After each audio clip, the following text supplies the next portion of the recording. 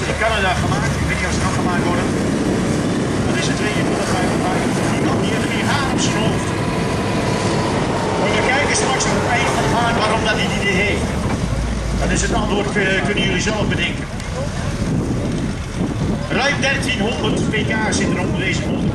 1300 pk. Als dat ding afgaat zo dadelijk, kijk even naar de zijkant en de uitlaatspruitstuk.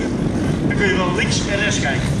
Maar als hij straks aan het eind stilstaat, kijk vooral bovenop die uitlaat. Hij gaat weg met een uh, wielsnelheid van 55 tot 60 km per uur.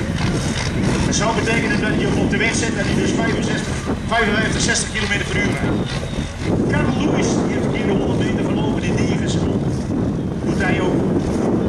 Als hij het grip krijgt, goede tractie krijgt, dan is hij binnen 9 seconden is hij aan het eind van de baan. We gaan kijken naar Patrick Engelbetting en his undertaker.